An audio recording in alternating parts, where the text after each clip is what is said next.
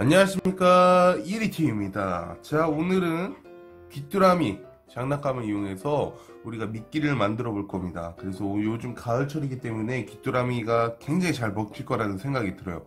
그래서 이걸로 어, 우리가 미끼를 만들고 밖에 나가서 우리가 한번 테스트도 해보도록 하겠습니다.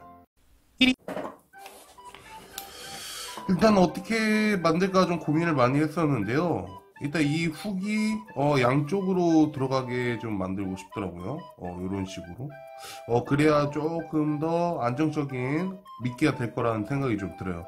이게 안으로 들어가기에는 너무 두껍고 딱딱하기 때문에 좀 불가능할 것 같습니다. 그래서 바깥에 달아주도록 하겠습니다.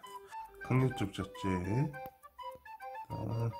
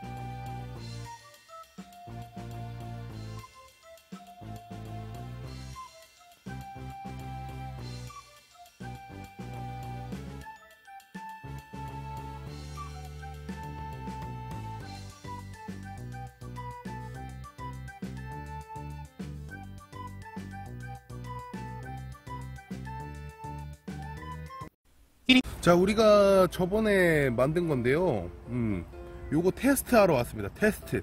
과연 베스가 먹어줄지 좀 궁금합니다. 여기 뒤에 바로 베스가 돌아다니고 있으니까 우리가 바로 가서 테스트를 한번 해보도록 하죠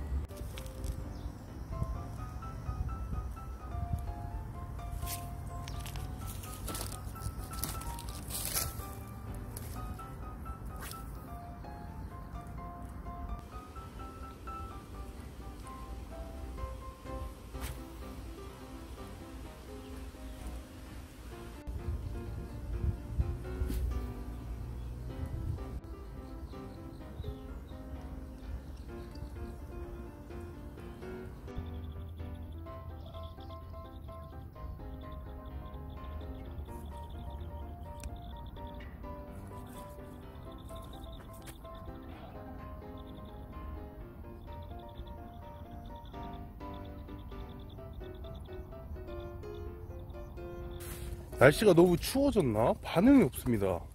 뭐 요만한 애들은 따라다니는 것 같아요. 이렇게 반응이 없네. 뭔가 이런 거 만들어가지고 막 팔뚝만한 거 팍 이렇게 잡아줘야 뭔가 임팩트가 있을 텐데 생각만큼 어 그렇게 안 나오는 것 같습니다. 아 사실 뭐 가을 시즌 되면 웜을 좀 많이 사용을 하는데 음 이게 웜이 아니다 보니까 좀 힘든 것 같기도 해요. 야 이게 야심차게 준비한 건데 이리티비가 이렇게 안 나와주나? 어디 눈먼 베스 없습니까? 야 근데 저번에 우리가 러버덕으로 베스 잡았잖아요 아 진짜 그건 운이 진짜 좋았네요 일단 조금 더 해보다가 마무리를 해야 될 것 같습니다 뭐 이렇게 안 나오면 답이 없죠 음. 아쉽다 아쉽다. 제발 한 마리만 나와라. 한 마리만 한 마리 한 마리만.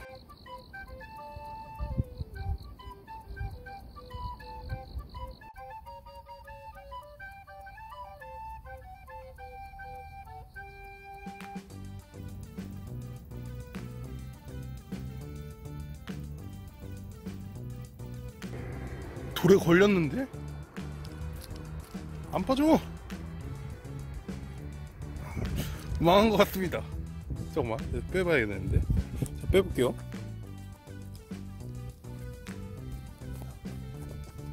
망한 것 같은데? 어?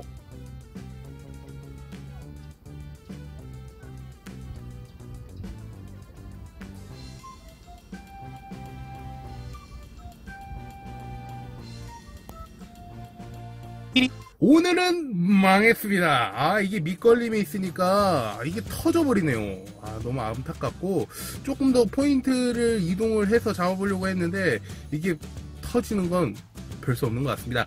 아, 그래도 다음에는 조금 더 좋은 녀석으로 만들어서 저희가 찾아오도록 하겠습니다. 아, 좋아요. 아, 구독하기 한 번씩 부탁드릴게요. 여러분들, 안녕.